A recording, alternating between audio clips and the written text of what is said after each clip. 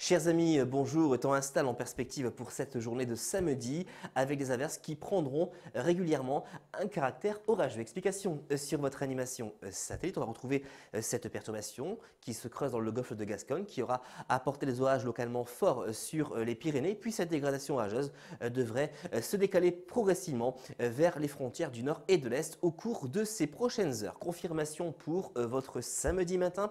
On va retrouver cette dégradation du Midi-Pyrénées en remontant vers la Normandie, à l'avant des éclaircies, des éclaircies beaucoup plus généreuses sur l'extrême sud-est ou encore vers la Corse. Pour les températures du petit matin, elles sont plutôt correctes pour la saison, notamment vers le sud-est, 14 degrés pour Nice, seulement 4 du côté de Strasbourg, 10 pour Paris, 12 pour Montpellier, 8 à 10 au pied des Pyrénées. Concernant votre après-midi. Je vous laisse regarder euh, cette carte. Beaucoup d'averses en perspective sur la plupart des régions. Quelques éclaircies qui reviendront à partir de la Bretagne plutôt aux alentours de 15h à 16h. Et puis on gardera tout de même des apparitions du soleil au nord de la Corse. Les vents qui resteront présents jusque dans les terres avec des rafales qui pourront dépasser le seuil des 60 km par heure. Pour les températures de votre après-midi, elles sont inférieures au normal de saison euh, sur euh, les régions de l'ouest. Seulement 12 degrés du côté de Caen, 13 pour Amiens, 16 du côté de Paris, 17 pour Montpellier jusqu'à 26 degrés euh, pour la Corse. Pour la tendance, on va retrouver des conditions plutôt perturbées sur la moitié nord avec encore des nuages porteurs d'averses, davantage de soleil